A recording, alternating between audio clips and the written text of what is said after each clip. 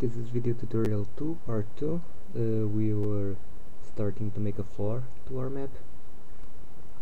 Uh, let's make a floor a bit under where the player is going to start. Uh, you start by click and dragging on one dimension. You go to the other dimension and click and drag on one of the points. Like if you were editing an object in PowerPoint or something like that then you right click create object. We got our floor uh, made uh, right when you start you're going to have like something like this view wireframe uh, as soon as you you start mapping you probably want to change it into you click here into 3D text texture. Obviously is way better. To move the camera on, the camera window. Uh, while you have the mouse on it click Z. And then you can move like you have Half-Life 1 with no click. It's not hard and it's very useful since you can select stuff on the 3D view also. Uh, also use the Z button to get out. Let's let's search um, texture for a wall. For example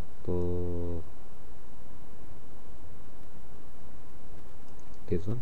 Will do just fine. Let's let's make four walls around it. Uh, try to make the walls um, all on the same height. So you won't have leaks uh, because if you have a leak to nowhere you're going to have a lot of bugs and you don't know you don't want that. Mainly because we are porting this to the Dreamcast.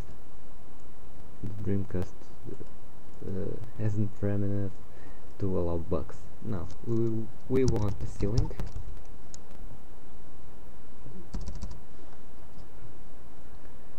Uh, this one? We'll do or this one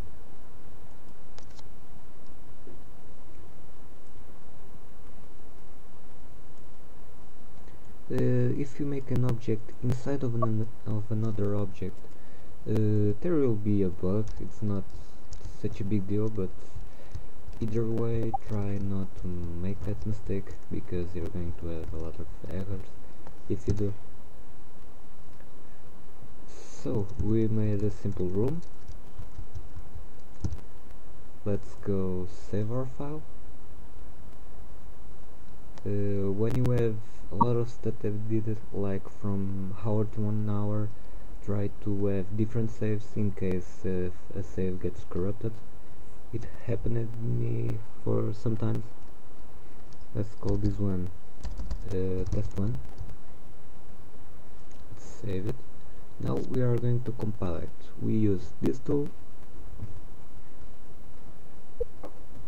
uh, right here called run map uh, use the simple option. You also have the expert option but we don't need this.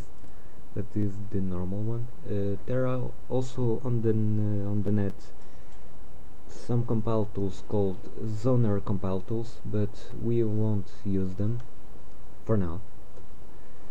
Uh, let this for now as normal normal normal and no at red because red implies lightning and we haven't used light yet. Don't run the game because if uh, you have this on uh, it's going to pop up Half-Life and uh, it's different from using the real game. It's really annoying. I prefer to run Half-Life myself. It gets different. You get the HUD menu you'll get the weapon models uh, plus you won't have any kind of bugs. And if you have then you can know where they are so you can solve them. Uh, leave this off. Okay. Uh, there was a schooling window.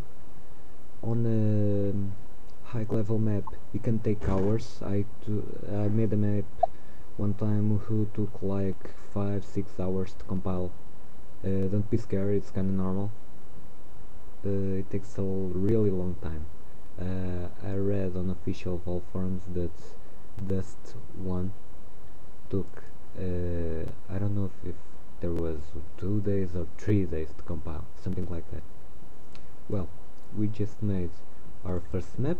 Let's run Half-Life 1 let's see what you got. You can run any map by using your console and write map. Your map name bsp which is the extension of a compiled map. Enter and you're going to be loaded the map. And here you go our first uh, Valve Hammer editor map. Hope you enjoy can start clicking around doing some stuff. Hope you like it thanks to everyone at dcfan.net.ru this is zone everyone who has been helping me. Thanks a lot. See you next time